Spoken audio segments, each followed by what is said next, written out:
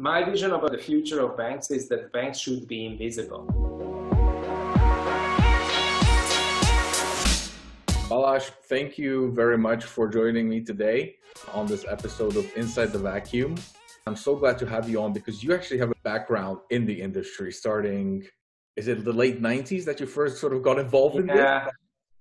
Yeah, it's very painful to talk about this, but yeah, it started in, I mean, the company itself, which I founded, it started in 96.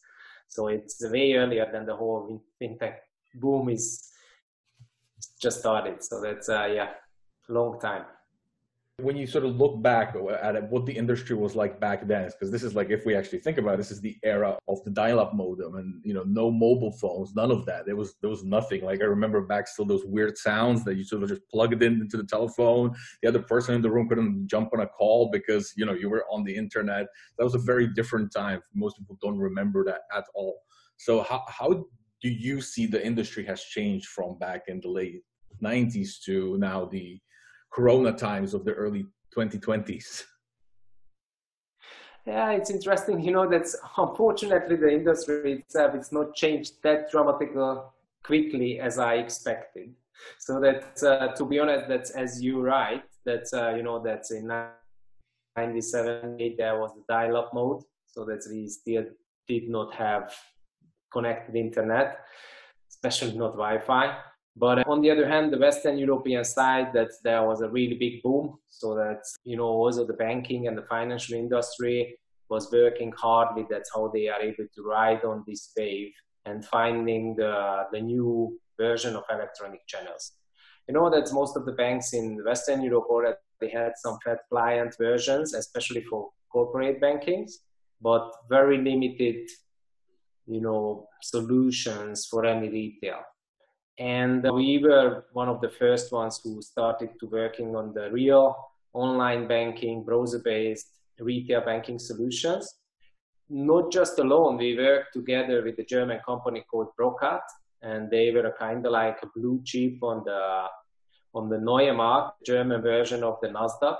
And that's how the whole company was started to growing up. And early 2000s you know that the whole hype was just even bigger and also the mobile phone is, is just getting boomed on the market. And it's so funny, but uh, we developed the first version of our mobile banking solution based on WAP technology in 2000 and 2001. wow. So, so you're really building up. So this is a 20 year old process for you now to founding the company. Is it two years ago? Formally? Yeah, exactly. You know, that's, which is I think that's a good story in the whole mobile banking process. What we started that how the people expectation is is just bigger than the reality. You know that uh, we in 2000 we were 100% sure that the mobile banking is the future, but it's not really happened, and it just started in 2007. So we started to invest quite early to be able to harvest the right success.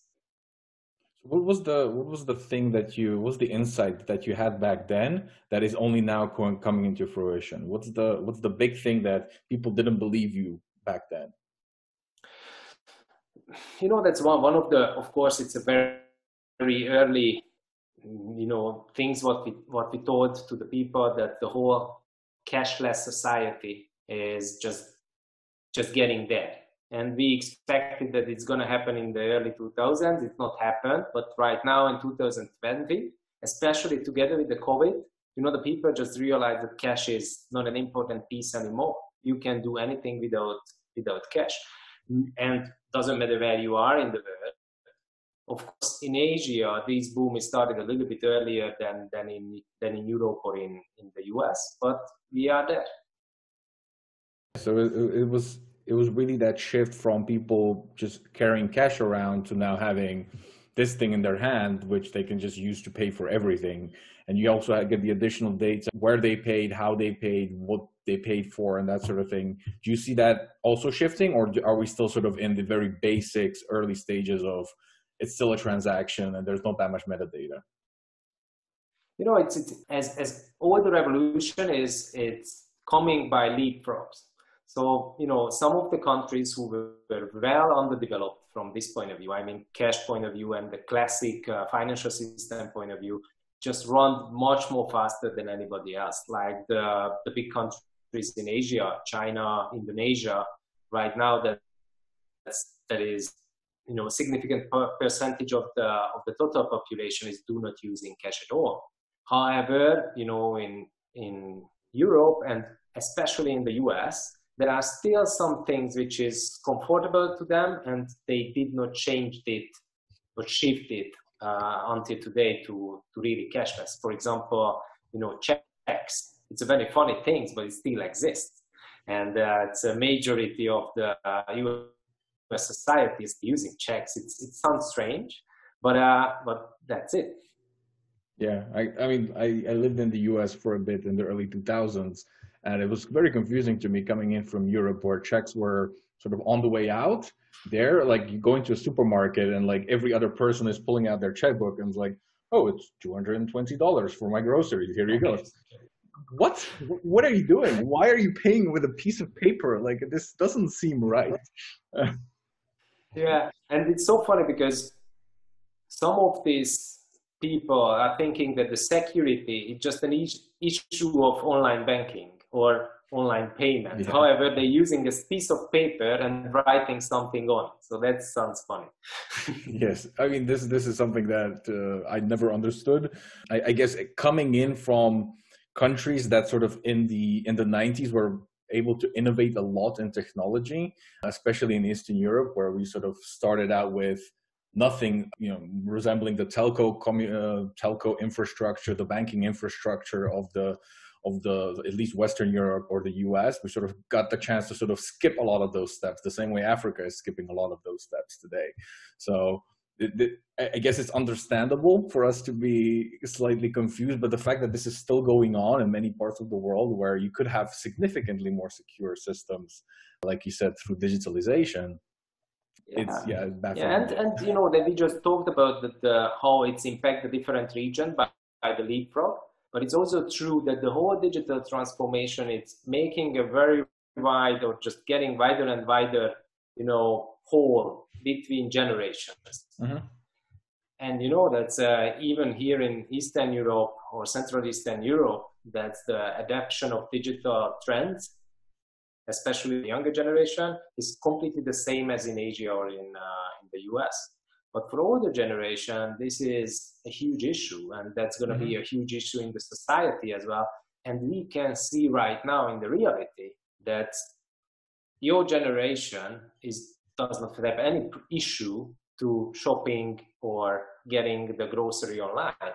However, the most dangerous generation under the COVID that uh, they still do not believe that how they would be able to do it without stepping out the door. That's actually a very good point. So, I mean, even without COVID, this is something that banks still have to consider. Like they have still have to consider that there's a, a large part of the population, depending on each country, of course, which does not want to or has the ability or desire to do so, right? Whether that's access to the internet, access to, to, to mobile phones, that sort of thing. So how how how in your experience have banks approached that? Is it just purely through physical branches, or are there some strategies that they've employed to sort of bridge the gap somehow? You know that I think these these shifts already happened in the uh, very similarly happened in 2008 I mean the mm-hmm. financial crisis when the banks decided that they need to save some cost. How they are able to save cost of course, automatization, digitalization. Get less branch, less people, more online, more digital. And you know that's uh, it's shifted up the trend and right now they are in a better phase however you know still the solutions is quite oldish so right now there is another shift because people are simply not able to going into the branch it's not really secure so they don't want to use it cash anymore. So that's right now, this is another shift for them or another possibility for them. But this is just accelerating the trends which is already happened. So probably this is even better for those banks or those financial institutions who are more prepared on the digital transformation journey point of view. They are either able to sell something online, handling the customer relationship online. They already have online and mobile solutions, which is the UX is good enough to be able to serve all the wide range of generations.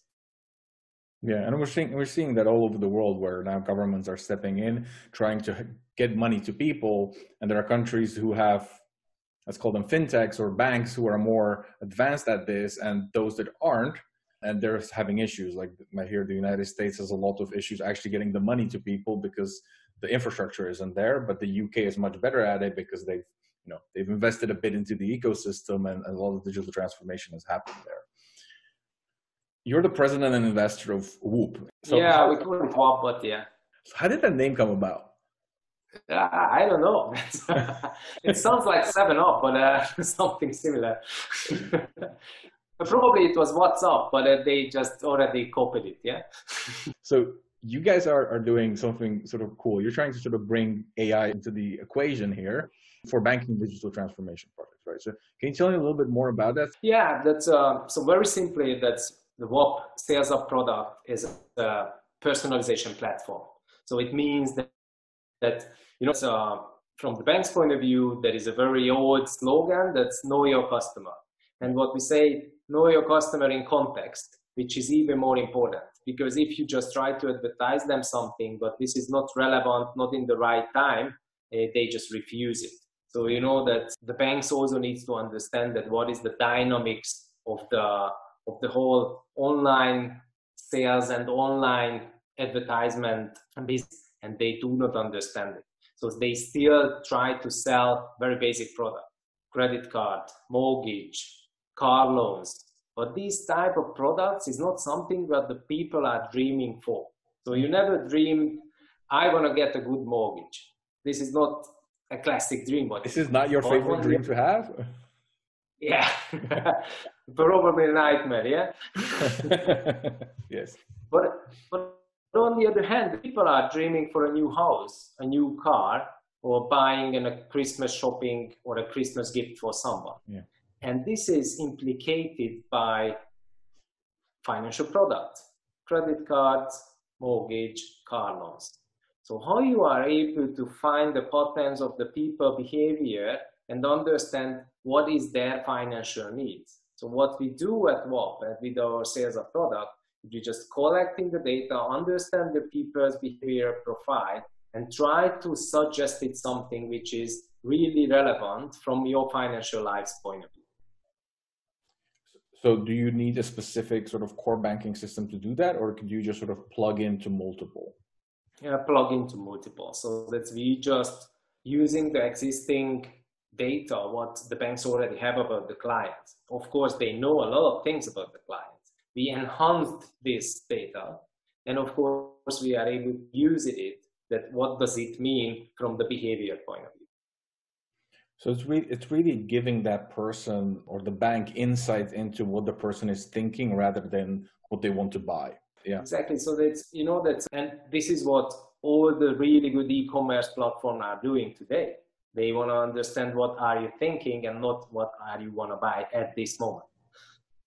I, I guess this is sort of a, a, shift into into where banks aren't purely uh, utility for people; they're really facilitator of their life. They're making things easier for them to accomplish, to survive through an issue maybe here like covid we have today although this is hard to predict i guess. So it's it's really a sort of a next step for banking to to introduce this. You know that what we realized of course at the beginning we started to develop online and mobile banking but what we realized what does it mean online banking? To be honest the process is just went through that used to be the banks did everything on paper later on they realized that they need to some computerized background, so they develop the core banking. Later on, they give access for some people, which they called it, you know, back office workers to these systems. Mm-hmm. Later on, they give the same access to the branch people, and later on, they copied the branch and they put it online. Mm-hmm. And all the things what used to be was made by the branch officers, today it's made by you. But the logic and the system background, all in all, is the same. So this is transactional systems. You can do transfer, you can do a deposit, and so on and so forth. But this is still a very transactional system. However, banks is about your financial behavior and your financial needs. So you need to be able to help the people how they are able to going through in this financial situation. Doesn't matter this is, for example, a rainy day because of the COVID, they lost their job and right now they need to live in on their savings or probably the savings is not enough so they need to get a credit but they need to have some predictions it used to be this was the meaning of banking you know it's not just talking about the private banking but the branch people also understood their clients and they knew a lot of things about their clients. Who is their family how they are belonging to the society and so on and so forth. And right now this knowledge is just about one and zeros and we need to be able to have it on the same level of understanding on the digital world. And this is what we try to recreate on the digital banking level how the banks are able to understand their clients' needs and how they are able to getting more engagement and later on possibly more sales to generate. Is this now running uh, in banks currently? This is already running in several banks in Europe. So, for example, one of our biggest clients is uh, Raiffeisen Group. So they have the same solution in four countries at the moment. We are working with BNP Paribas in two countries. Uh, the third one is just started. Societe Generale in one country, and we are just getting forward and forward. So there is a plenty of customers who we already applied. Wonderful. So can you tell, can you share some sort of fun applications of how they've used this to create new experiences for their customers? Oh yeah, yeah. So that's you know this is mainly about the mobile channels. Of course, this is a channel independent solution, so you can use this data each of every interaction channel, but the most typical is the is the mobile itself. Mm-hmm. So that's one of the best example, which is easy to understand. That if you just arriving to the airport and the bank's already seen that you already bought an, a, a flight ticket to somewhere, they are offering for you an, a special FX rate because they see that you will spend something in, in British pounds or in US dollar and probably you does not have an access to the the best rate at the moment, but if they offer for you something which is relevant at the moment, it's really helpful. The travel insurance. This is also a very, very basic example. that how you are able to use your travel insurance when they realize that you are abroad, either because you bought a ticket or because of your geolocation, they are immediately offer you a travel, uh, travel insurance or just activate your travel insurance. But it's also true that if they see that how many times are you traveling by car, they are able to make a very simple calculation that what would cost for a, or a car loan for you in a month. And probably this is comparable with the cost of the, your, of your taxi cost and so on and so forth. So that's all of these type of so really small insight the really complex one, like for example the mortgage. The mortgage is the most complex, of course, to understand that when the people are ready to buy a new house, it's not really easy to to expect. But even not for, for ourselves who really wants to buy a new one. But if you buy a lot of things in the IKEA, that it also means that you want to make a renovation. And if the bank sees that probably your cost is is higher in monthly than your income, that they are immediately able to uh, rebuilding credit or uh, just a simple overload. Yeah, so the, the, the, complexity here is sort of unimaginable as to how the bank can potentially help you in many different parts of the life. So if you sort of would have to put on your little your futurist hat, where do you see this going maybe 10, 20 years from now? How will the bank change because of technology like this? You know, that's my vision about the future of banks is that banks should be invisible so that's uh, you know that's from from our personal point of view, who are just clients of banks. Banks and the brands is just meaning always frustration because you know that's if I need to take care about my my banks, it means that there are some frustration what I need to solve.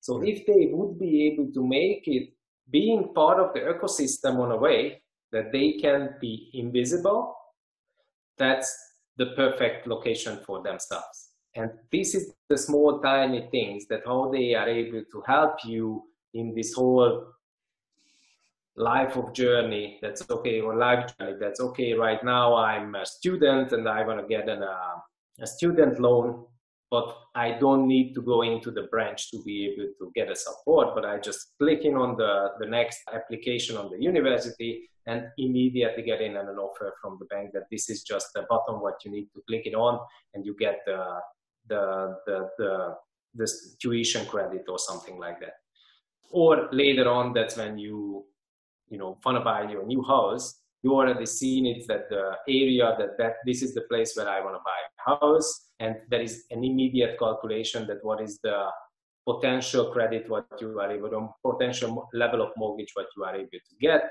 what is your salary what is your uh, uh, monthly installment capability. So this is an immediately pre-built application that you just need to click it on the buy the house and everything is going to be smooth not just running papers all over the world and all over the city to be able to organize in a month's time this process. Oh, so, so is... my vision is the the best banking is invisible. So this is really just uh, a phase of banking where it becomes your partner in life, really, and just guides you through the, your various stages wherever money is involved in some way or fashion, whether that's insurance or actually getting a loan or saving up money. That's it's, it's like a partner helping you along, be, being almost like that old school banker who you sort of walked in and he sort of told you about your bank account and you know the, the, really old school community banks that you sort of see in the movies uh, maybe in the 50s or maybe in some imaginary fantasy world. It's a nice vision. The really big marble you know stones on the on the branch. Exactly. So i would like to thank you very much for for joining me today to talk about you know the future of banking. I really love the idea of invisible banking and and really make converting that bank into something less about the hassle of the papers and everything, but more about the day-to-day life and, and being part of you, your your your everyday situations. So before we go, I'd like to sort of ask you if there's lots of fintech founders uh, that are now exploring how they could fit into the into the space, how they could help out, how how they could make their own mark. What would you suggest they focus on, or what would you suggest them to do now that they're thinking about finance as a as a potential place to disrupt? They do not need the really big idea, which is completely unique. It doesn't exist in the world, and probably it's big enough to making the the new version of Facebook or something like that. I think small ideas is also able to help on the world, and the the banking ecosystem is typically a world where are very small, tiny things. What you are able to revolutionize, it's big enough to be able to make a great company and probably a billion valuation. So do not thinking in too big and do not wait to the really big idea. Just find the small space for yourself and try to do it in really right way. Work, work a lot and a long time and probably it's going to be successful. Thank you so much. If people want to find you, uh, whether that's yourself or W.UP, how can they reach you and the company? Well, W.UP on digi- this is the web address where you are able to getting more information. For myself, I'm on LinkedIn, quite active, so that uh, you can just write me or call me. That's uh, it's quite easy to reach me. Thank you so much, and have a wonderful, wonderful rest of April. Thank you very much. Thank you. Stay safe. Thank you. Bye.